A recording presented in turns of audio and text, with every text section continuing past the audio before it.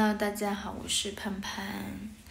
嗯，有人说，嗯，不上班就要跟社会脱节，然后，嗯，有人就说会吗？不会吧？你手机上你社会新闻啊，你能看到，你支付啊，买东西啊，你也可以去付钱，也没有什么脱节的现象啊，对吧？然后我就回复他，我说。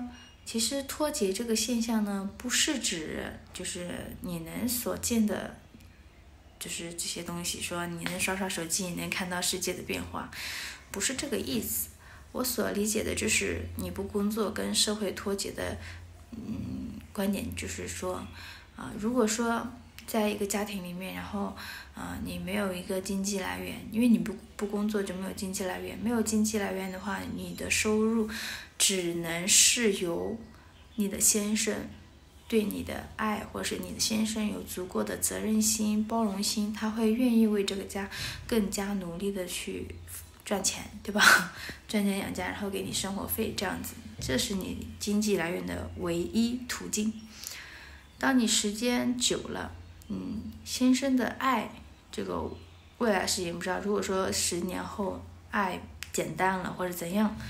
那你这个经济来源唯一的经济收入就没有了，那你那时候已经再出去工作，已经很难找到一个工作，就是没有人会愿意要你，除非你去找一些就临时工啊，或是阿姨打扫卫生啊这种环卫工人的这种工作，你到那个时候才是真正的体现你社会脱节的时候。因为你习惯了手心向上的生活，虽然说在有爱的时候，这不叫手心向上。当你这个爱这份爱没有了的时候，你再去问人家要钱的时候，人家那种态度啊、表情啊，不给你的时候，那种就是有的就像乞讨了。对我认为是这种，所以就是虽然嗯你不工作，但我觉得你也可以去呃尝试着。去搞一些副业，你不能长期让自己处于一个失业的状态。反正我个人是等球球读书了以后，我还是要去找工作的。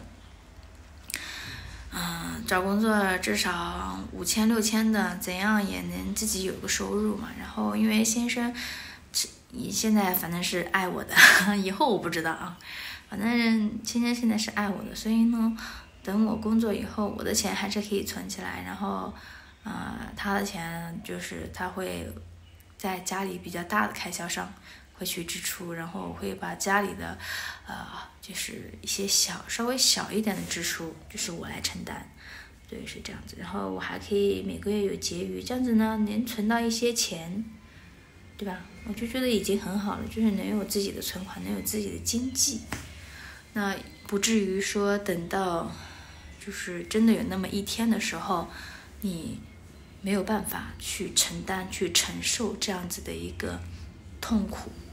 对，就是钱这种东西呢，它不是万能的，但是你没有钱呢，确实是万万不能的。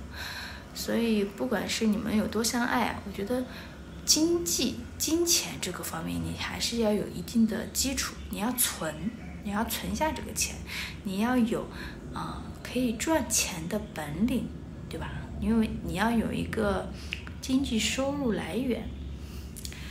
觉得有的时候呢，就是如果说家庭里面夫妻不同频，不在同一个频率上面，就是会越走越远，越走越远。一个人走得太快，一个人走得很慢，那到时候这个可能就会交叉过去，或者是永远平行，永远都 不对。就只能过去，你知道吗？就没有办法去那个和睦相处，所以我认为不上班的脱轨脱节呢，与社社会脱轨就是这个点吧。因为你到时候你跟谁讲，谁都不会同情你，就觉得说谁让你在家里面不上班，对吧？就就其实社会上很多人还是要看，唉，谁的经济来源就是大。收益大，一些在家庭里的家庭地位就说话的权就是话语权就比较大，这个是确实是的，因为有的时候一吵架，一说你去赚钱啊，那你去赚好了，然后发现我确实赚不了不如他多的，那我就没有办法回他。虽然说我觉得他说的这个确实是有道理的，但是也是也是有那种很耍无赖的成分在里面，但是你就是没有办法回嘴，因为因为事实确实是这样子。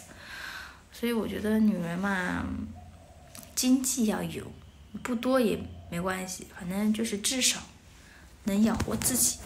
或者说你能存下自己的一个呃存款，对吧？就是给自自身的一个保障。如果说以后两个人一直都很好很相爱，那皆大欢喜嘛。然后这个钱你们可以以后旅游啊、度假呀、养老啊、看病啊什么的，对吧？也不会给子女造成这样的一个负担。对，就是不光光是说为了夫妻热。嗯，为了子女着想，我觉得存钱有经济来源都是一件比较好的事情。你不能说你到现在没有工作，一直都没有工作，一直都没有工作，孩子大了还没有工作，孩子需要真的压力特别大，需要父母去拉一把的时候，父母没有办法拉，甚至有可能你还要生病，需要你子女去承担的时候，那个时候就真的是很无助，很无助了，对吧？这是我的一个个人看法。虽然现在呢，嗯，我没有工作，但也好好在就是球球也大了，快了，明年九月份其实就可以去读书了。等他稳定，可能让他先读一个学期吧，一个学期稳定下来，第二个学期的时候我就可以去找工作了。那现在目前的话，我的副业收入也不多，每个月的话差不多七百。反正最低七百块钱吧，然后，嗯，稍微好一点的时候呢，就会有个一两千这样子。就这个月的话，是因为有那个手机嘛，那个手机卖掉了，卖卖了三千块钱，算是一个收入。就是这个月的收入的话，会有三千七百块钱左右。对我来说，我已经很满足了，因为我在家里面待着，然后还有收入，我就觉得，嗯。很好了，很好了，就是至少说，在先生给了我生活费，以及我自己有这样子去有一些收入的情况下，我每个月也能攒下一些钱，对吧？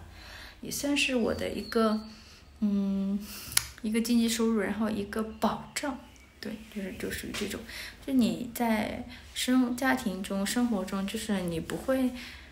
你自己的心里是比较充实、有底气的，就不会想要想着说，哎呀，我一直没钱，一直想着这个事情，就不会想，就是嗯，对，然后有这个能力，对吧？那等球球去读书了以后呢，我相信我也可以找到一个不错的工作，就是有一份不错的收益，然后工作加副业的收益的话，我相信应该也是还可以的。有很多人都说，嗯，凡事不能靠别人，自己的老公、孩子都靠不住，只能靠自己。这个话呢，其实也没错，但是呢，也不是那么绝对的。我觉得人还是累的时候，也不能自己死撑，对吧？也需要去靠一靠，不然的话，为什么要群居生活在一起呢？就是因为，就是家这个地方呢，就是需要给你包容，需要给你。啊，温暖的地方，对吧？不是一个冰冷的地方啊，所以我认为，当你比较累的时候，你是可以停下来，由家人去温暖你、包容你。我觉得这是无所谓的，是可以的啊。但你不能做的事情是说你一直这么颓废下去，对吧？不能一直颓废。当你需要你休息过后，你需要缓冲过来，你还要继续面对生活。你不能说把生活的压力就全部嗯放在一个人的身上，那这样子的话，你颓废久了，然后呢，另外一个人被压力承担不起来了，就压力压垮了，那这个家也就垮了。那两个人一起去承担的话，就很就能 很好的去度过各种难关嘛。好吧反正我个人的 观点就是这样子。喜欢潘潘的可以订阅支持一下小广告也看一下啦。然后你们有什么想说的也可以留言评论一下。我们下期再见拜拜。你也睡觉吧好吧求你了你也睡觉你也睡觉。记得点赞关注哦。